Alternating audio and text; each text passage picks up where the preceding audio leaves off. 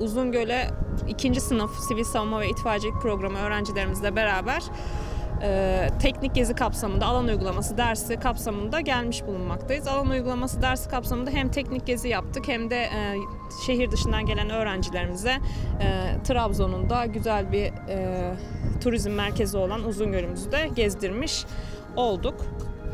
Evet, e, bayağı büyük bir kısmı buz tutmuş gerçekten. Biz de görünce şaşırdık. E, aslında ben şunu da bekliyordum. Bir tarafı bazen komple karlı oluyor, bir tarafta güneş oluyor. Öyle bir görüntüyü de belki yakalarız diye düşünmüştük.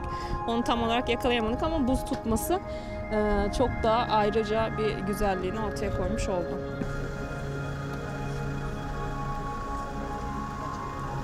Ee, gelip gördük.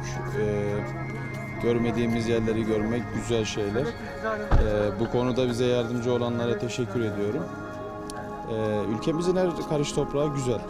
Trabzon keza aynı şekilde o şekilde güzel. Bu şekilde gelip gördük, beğendik.